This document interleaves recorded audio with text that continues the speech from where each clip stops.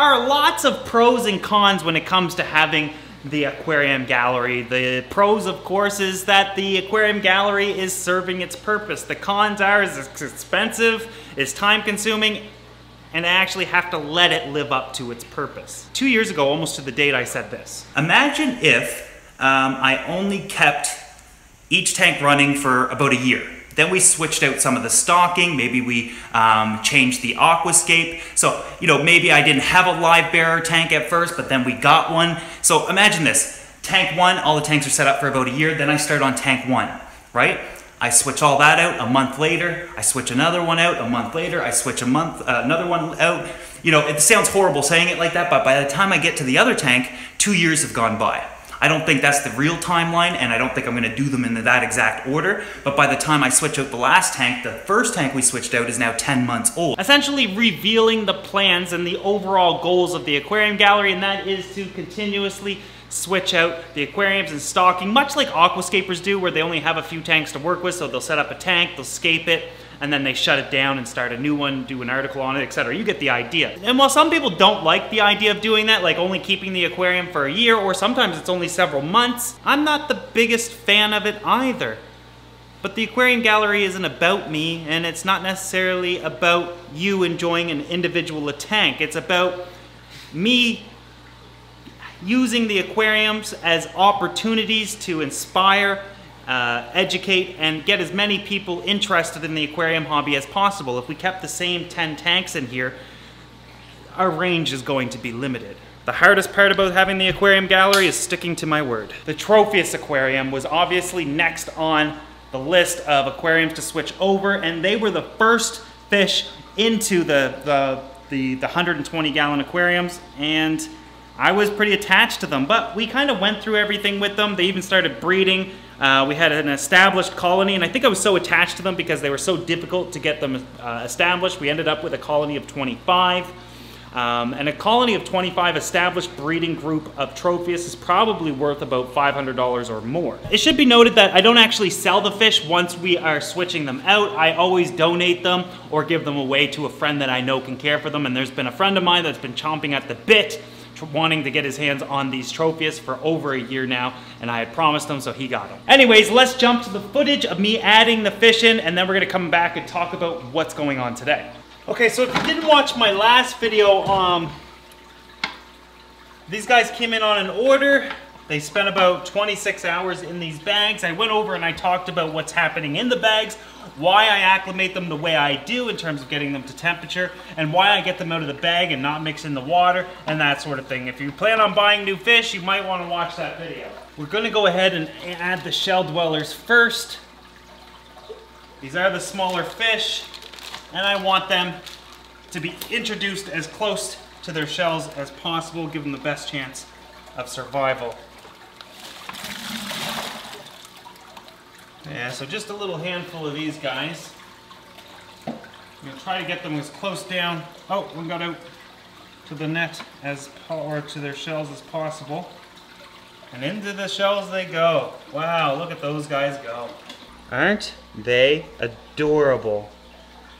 These guys will get a little bit bigger than the previous shell dwellers we've shown before and will display a tremendously uh, amount of more color.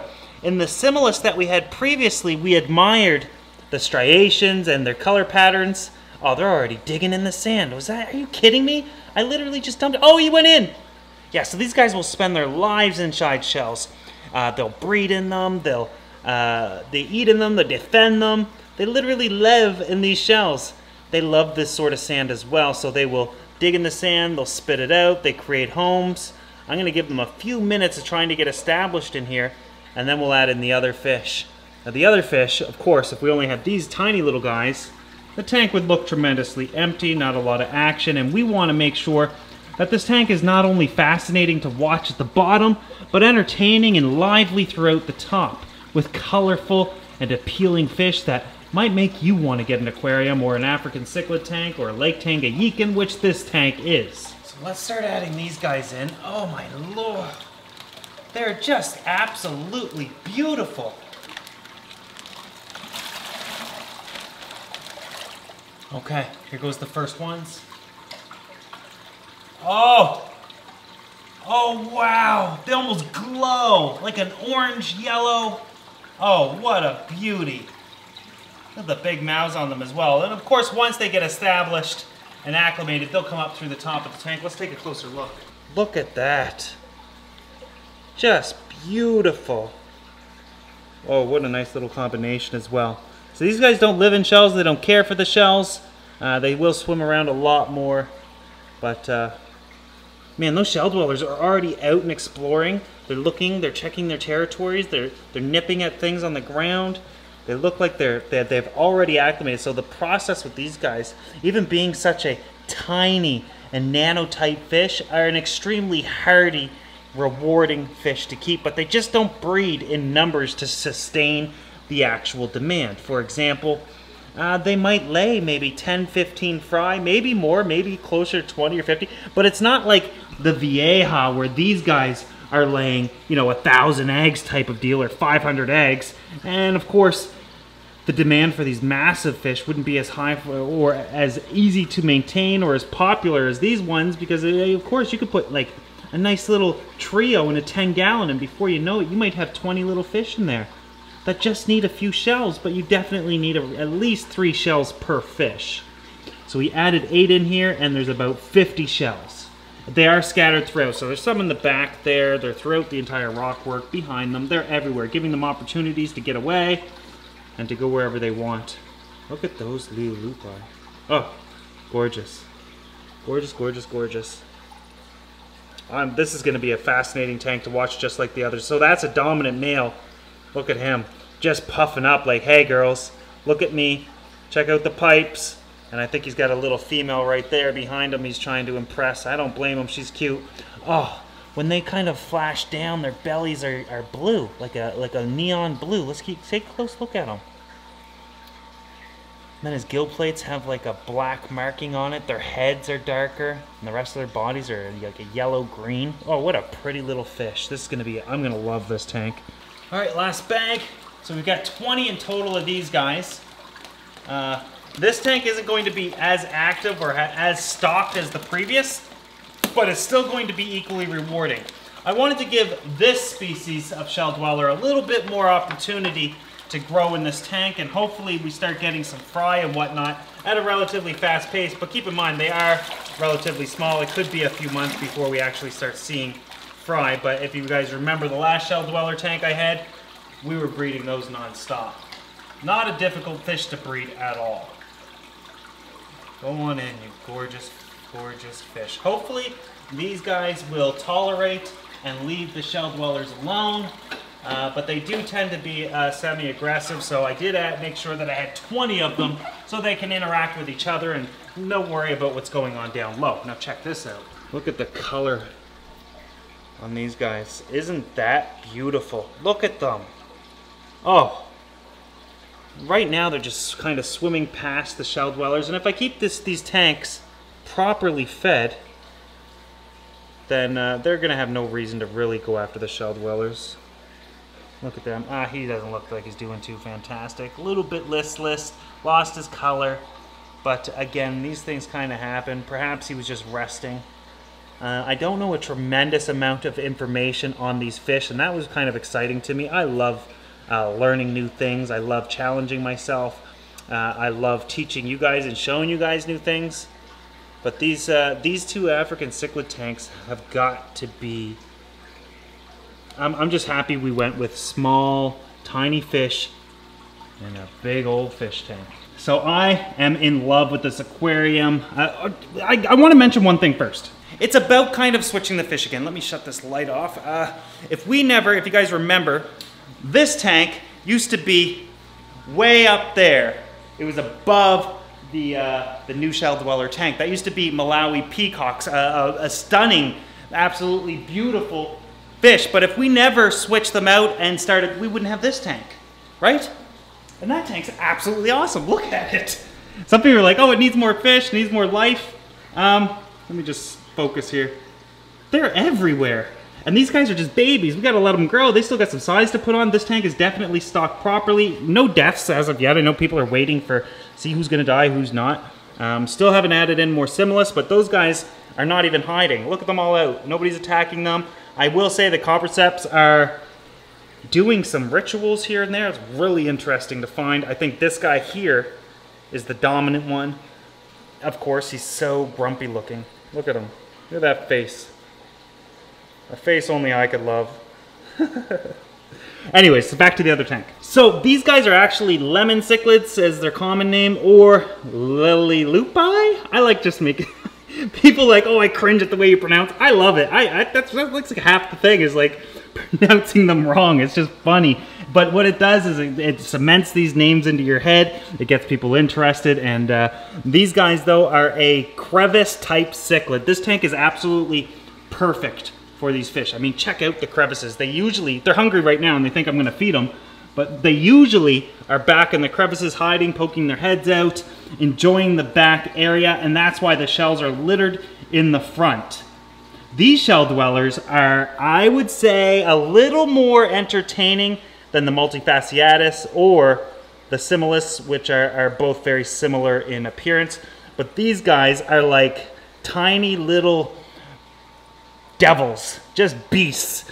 Uh, they're constantly kind of warring together, establishing their territories. Look at them; they don't care. They're out with the with the lily loop eyes, lilies, the little lily. I don't know, um, but they have these eyes that are like almost situated on the top of their heads.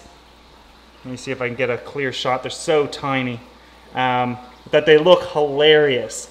And watching them fight and whatnot. I'm gonna have to set the camera up and let it roll one of these days because you, so you guys can actually watch it but they've mostly established in this area. Every once in a while, they'll come over to this area, and we have 100% survival with this tank as well. Uh, as for the plants, I'm just trying it out to see what happens. I'm okay to sacrifice these plants just to see what's gonna work and what's not. I love the lighting. I love how it lights the tank. Um, we're only using one light. I even took the other one down so I wouldn't be tempted to turn it on because this is just such a unique look and I want everything to be uh, unique looking in nature. But uh, I do think that we will probably lose these two over here and potentially this one, but I'm pretty sure this one will do okay. Now, this isn't a planted tank substrate. This is a sand substrate, but it is two years old, so it should have enough nutrients to support at least some aquatic plant life, but we'll see. Uh, if, if it doesn't, I think it kind of does look out of place, so I'll be okay if we got to take them out, transfer them to another tank or something like that. But for now, I don't mind it. The fish seem to enjoy it, and having a look, look see how they go up into the crevices? Look at this guy. Can you see him up there? I might have to adjust the camera. See him up there? So he'll go up there. So what they'll do a lot of the times is they'll lay flat against it, facing upwards. You guys, I'm not actually feeding right now. We'll do some feeding videos of all the new fish here in, in a future video, but this is just another, oh look, these two. I'm just gonna focus on these two for a sec. Look, see, there will, see the shell dwellers? They're bickering a little bit, not much. They're a little bit. And they're out. If these guys were not comfortable in the tank, I can assure you they would not be out of it. Another one over here. Yeah, these guys, oh, lemons are fighting a little bit. Yeah, I love this tank too. This is a shell dweller aquarium as well, but so much different than the original. And I know that having two shell dweller or two Tanganyikan tanks is uh, repetitive, but they are so different that they had to be done. They had to be done. And in six months, three to six months, I can't wait to see how this goes. Yeah, see, there's another one kind of perched up on the output over there. I love how they interact with this environment. I think it's absolutely fascinating. Let me just get my camera. There's another guy. See? They're crevice, uh, crevice dwellers. Unless they're hungry, they'll come out here, but uh, they're rarely out with the shells unless I come over here. If I'm looking at this tank from afar, or if I set this camera up for a little while, they're all in the back. It's almost like a moving background with how they interact with it. It's, it's just, it's just so different, so incredibly different. I don't know. Let me know what you guys think of this tank. I think it's absolutely awesome. If you guys enjoy it, let me know in the comment section below or what you would change. What, how do you feel about these plants? Um, I think it's worth testing just to see what we can do. Uh, this is a crypt and it's a crypt spiralis, I believe, and uh, low light, low needs, but yeah, maybe the needs, uh, the, maybe the low, the, the light and the nutrients are just a little too low in this tank. But nonetheless, I'd still be curious to get your feedback. I gotta say that all of these tanks, as of right now, are phenomenally different. I truly feel like we finally have what I originally envisioned, and we're not even close to being done. We still have to finish other tanks, we still have to set some more up. There's other things that I have planned that you guys have no idea about, but this tank, I just, I'm, I'm just in love with it. I'm in love with the entire gallery right now. Coming out here is just so fascinating and exciting, and I hope you guys are enjoying it so far. And if you are, uh, and you're not subscribed to this channel yet, make sure you do so you don't miss any of these videos.